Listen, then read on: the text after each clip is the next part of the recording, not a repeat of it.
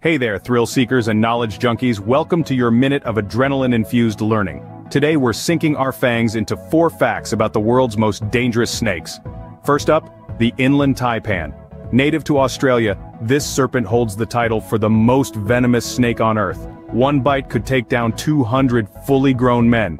Next, meet the black mamba. Known for its agility and aggressive defense when threatened, it's one of Africa's deadliest snakes. Then there's the king cobra. Not just famous for its iconic hood, it is also the world's longest venomous snake. Finally, we have the saw-scaled viper.